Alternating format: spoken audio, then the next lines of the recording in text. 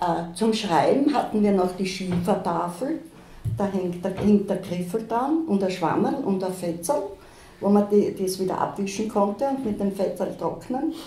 Und in der zweiten Klasse dann schon äh, schön schreiben und dann konnten wir schon mit Tinte schreiben. Und da hatten wir Feder und einen Federstiel und dann vorne so ein Pult und da war das Tintenfass war in einer Vertiefung drinnen und da musste man schon ein bisschen vorsichtig sein, dass man da nicht patzte. Weil äh, das wurde schon klassifiziert, wenn, wenn sagen wir, viel Batzen im Heft war, dann war das schon so nicht äh, keine gute Note dann hinaus. Ne? Da mussten wir ja schön den Platz einteilen, auch dass man das Heft auch voll schrieb. Da wurde auch gespart. Ja, und wir bewegen uns jetzt mit dem Auto hinunter zur Brockmann-Schule. Ja?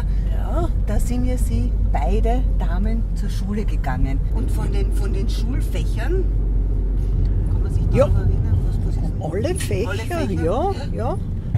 Schreiben, Deutsch, ja, Rechnen, mhm. Deutsch. Ja, Englisch hat es gegeben. Oh. Und ich als Kind habe mich so geärgert, haben wir gedacht, jetzt haben wir, sind die Engländer unsere Feinde und wir sollen diese Sprache lernen.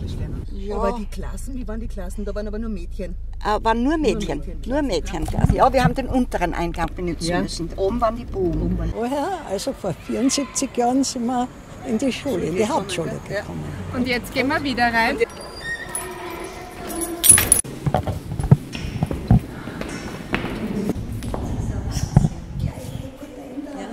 Ist alles gleich. Ist alles gleich. Ist alles gleich. Es ist nur gefärbt.